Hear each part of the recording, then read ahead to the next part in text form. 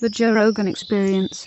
I'm pretty sure anxiety and depression are baked into the human experience. I don't think you can get away from them. Yeah, you sound like a good Catholic. That's what I'm saying, man. That's what being Dude, Catholic's all here's, about. here's the other, I used to have wicked panic attacks when I was 23, and I was also a gigantic piece of shit.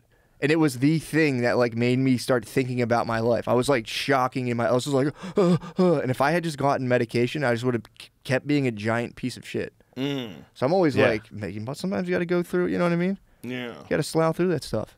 Yeah. I was a fucking How'd you pull out of piece it? Shit, I just fucking had to come to grips with the fact I was going to die eventually.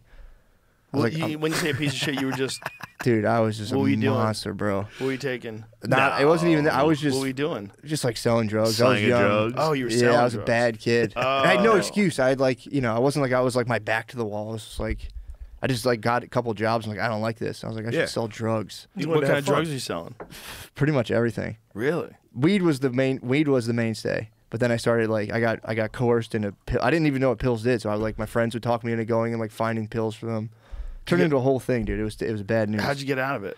Just stopped eventually. Wow. It stopped. Yeah. Oh, I- Patreon podcast took Patreon. off. now we're good. Thank you, Patreon.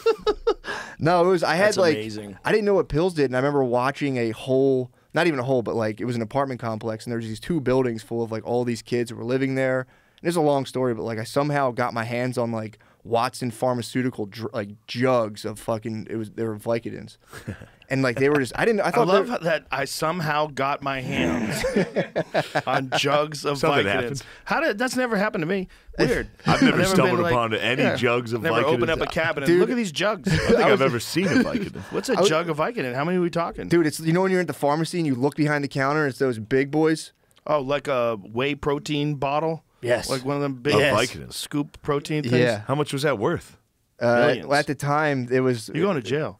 You're talking about this on the podcast. You're fucked. you know, statute of limitations. What is the statute of limitations? I don't know. Statue of limitations. statue. statue. Statue of limitations, dude. I'm clear, I'm in the clear. Shades got the shades on. It's time. It's over. Okay, here we go. But no, it was Mushrooms kicked that's in. basically the thing. I was just a fucking Turn on the nightmare. jets.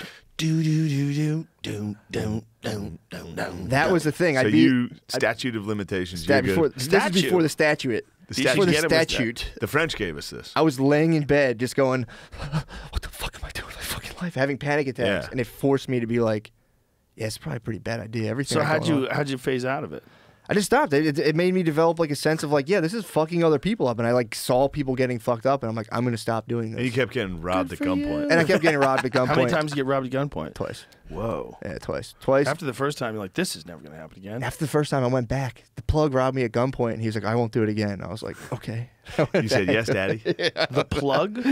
What's the plug? The dude who's your supplier.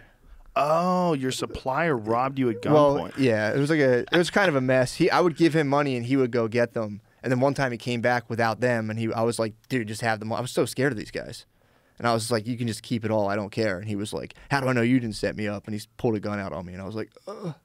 and my roommate walked down and went, "Ah!" and Oh, he just, Jesus. they both just ran out. But yeah. And so then you tried to buy from him again? No, I told him I, he like time passed and he's like, dude, I'm so sorry. I found out who actually robbed me. he's like, if you could come back, I'll take care of you. Blah blah blah. You know, I'll like make it worth your while, and I'll just you'll never have to put any money up ever again. So And then what like- happened? I just went back, started, you know. And then he And then what happened to just pull his gun. off. Uh, then apparently he got in trouble for I think he tried to shoot at somebody. So I went back to pay him back one time, and then some guy was like, nah, he's in jail. He tried to So, shoot but- someone But he tried to. You said he pulled the gun on you twice. once. A different guy pulled a gun on me.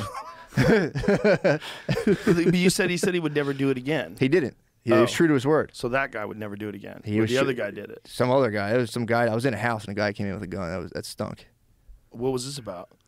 weed pounds He just said, "Give me your weed." Yeah he it was like kind of like one of those things where like a guy comes in he goes oh my god some guy happened to be behind me with a gun everyone get down and i was sitting there like this is bullshit so then he like just took the money took like the weed and then he was like just like who the fuck you know blah blah blah he started telling me like i was on his territory and and i was like dude come on man and I just sat there and he just talked for like two minutes and he was like, if you guys try to look out the window, we're gonna there's people outside, they're gonna shoot you. He took all of our cell phones. I did have a thousand bucks behind my back though. I didn't tell him about, so I got to keep that. Pretty That's tight. pretty sweet. That was pretty tough. A lot of people would have lost their composure. Thankfully, that other guy pulled his gun on you before, so you were. Dude, know what? But know what happens though is you lose, everything slows down, and you're able to like I was in that the first time I just shit my pants. The second time I was like looking at the kid who I never met before, who I knew kind of set this up because I watched one kid I knew like be in a real state of fear, and I watched this other guy pretending to be scared. All while this guy in a ski mask was like, whoa, whoa, whoa," with a gun, and it was just like, fuck, I really hope. Like the part of my brain like I might get shot just went offline, and I was able to watch and be like. I'm gonna fucking kill this little motherfucker when this guy, you know, blah blah. blah. But And so, how long after that did you stop? A couple years. I was chasing the bag, dude. For real. Oh my god! I got Patreon. robbed. I didn't make any money. I got robbed constantly. I was too trusting. I got robbed const- I got robbed by club one time. Club point it sucked.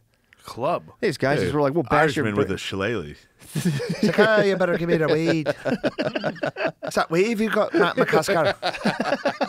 Uh, uh, uh, not again. Fuck. Damn. Yeah, it's so. He's a non-violent. He's a non-violent drug dealer. Yeah. So how did you go? How did you start making money when you quit?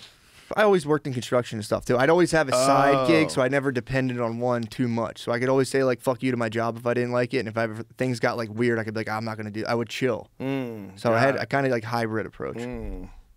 And how did you get into podcasting? I was just a comedian. Me and Shane were just living together. I'm like, dude, can we please do a podcast? I'm fucking dying here, dude. I was playing video games. I was like, yeah, fuck it, yeah. yeah. Yeah, I was just. I mean, I was. What is I- it called again? In case we forget. Matt and Shane's secret podcast. There you go. But yeah, man, that was uh, it's not the way. That was not the way. No, it doesn't sound like the way. But I was. Li- I, Sounds like you got some good stories out of it though, and you lived. pretty good, yeah, pretty good. But I lived. I was living according to a fucked up system, and it was like things called mental disorders got me out of it. That's what I'm trying to say.